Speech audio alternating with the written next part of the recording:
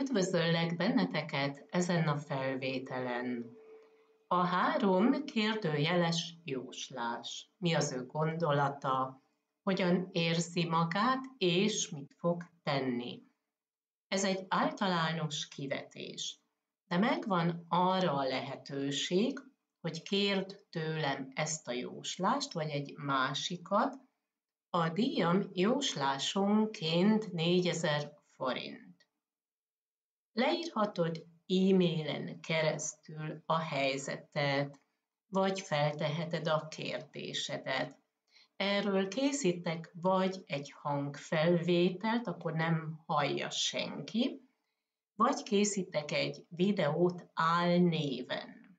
Senki nem fog rájönni arra, hogy miről van szó, vagy kiről van szó. Erre nagyon oda szoktam figyelni. Miután elkészült a videó, feltöltöm a másik csatornámra, Meisterin des Kartenlegens, és átküldöm e-mailen keresztül a linket a videóhoz. Így kapod akkor meg. Ez egy általános jóslás, de mint említettem, lehet kérni személyes jóslásokat is. Ez a videó megjelenik május 17-én. Az indiai asztrológia szerint a hold ezen a napon az Uttarapalguna holdházban van.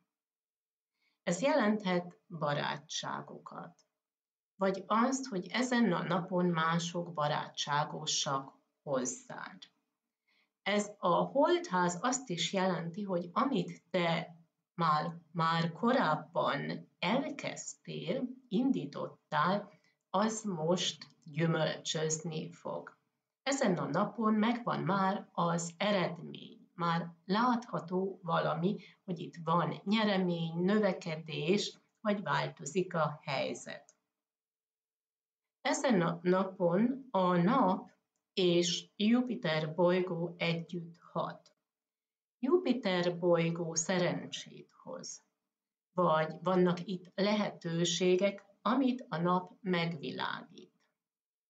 Az is lehet, hogy most megvan a magabiztos fellépésed, és mások észrevesznek téged, megkapod az elismerést.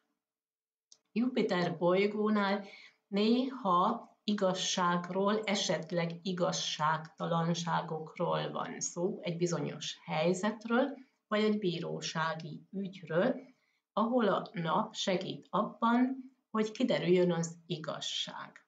Ami a politikai eseményeket illeti, a nap az jelenti a kormányt, a hatalmat, és Jupiter bolygó az kihat az igazságra, vagy igazságtalanságokra, itt lehet bizonyos törvényekről is szó. És most megnézzük, hogy mit mutatnak a kártyák. A cica kártya, az az enyém, amit a férjem készített, ugyanúgy, mint a magyar kártyát is ő készítette. Az ő gondolata felül van.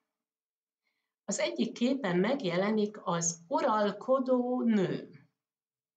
Az lehet, hogy te vagy ez az uralkodó nő, és ő úgy gondolja, te magabiztos vagy, uralkodsz a helyzet felett, de az is lehet, hogy valaki uralkodni akar felette.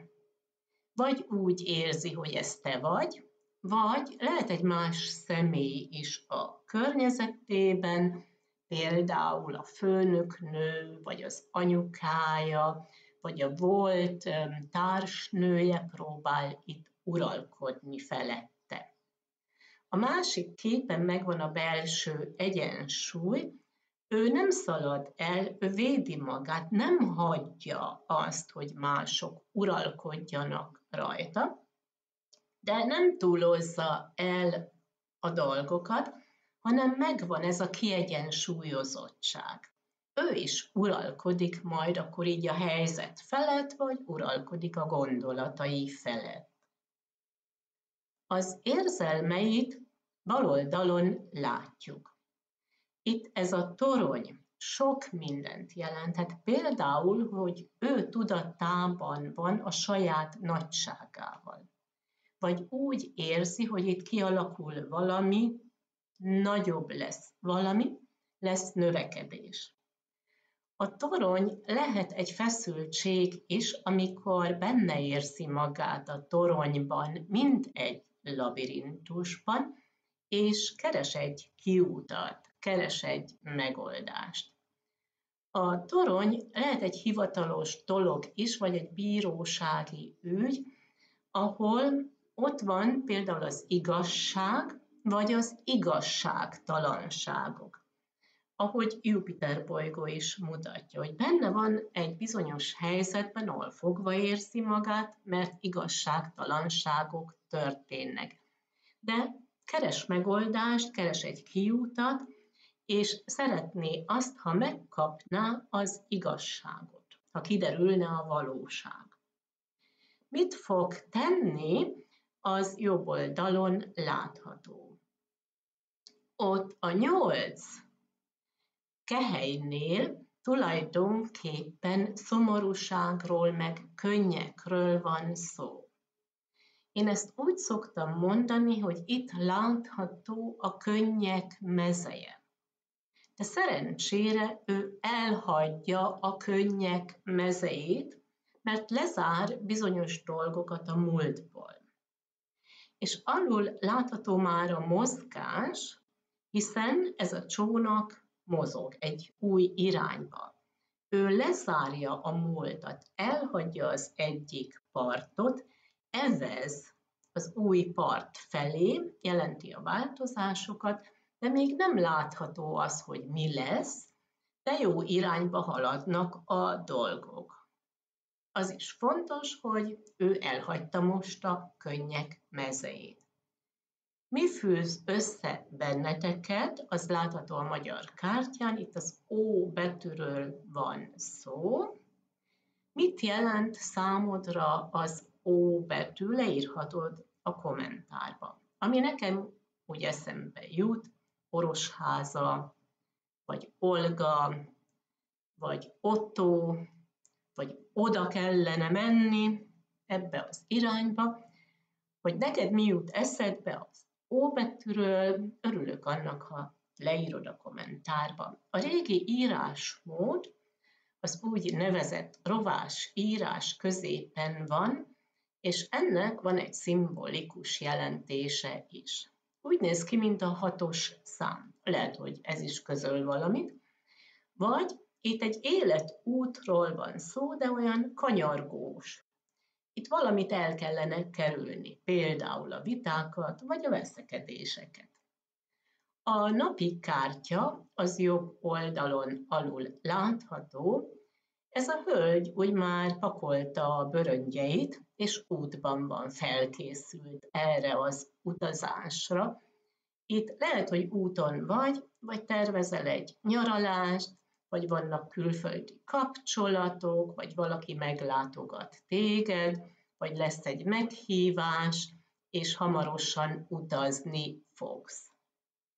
Ha utazásról van szó, én mindig a belső útra is szoktam gondolni. Ez lehet egy lelki út, vagy egy lelki kapcsolat kettőtök között. És ez volt a három kérdőjeles jóslás. Amennyiben tetszett a videó, örülnék annak, ha lájkolnád a videót, vagy jelentkeznél a csatornámra, leírhatod a véleményedet a kommentárba, például, hogy tetszik-e a cicás kártya, amit a férjem készített, vagy a magyar kártya. Azon kívül meglátogathatsz a Facebook oldalamon Dendera Szuzanna Medici, ott megjelenik naponta a Maja naptár. És én kívánok egy szép napot, nagyon sok szeretettel, Dendera!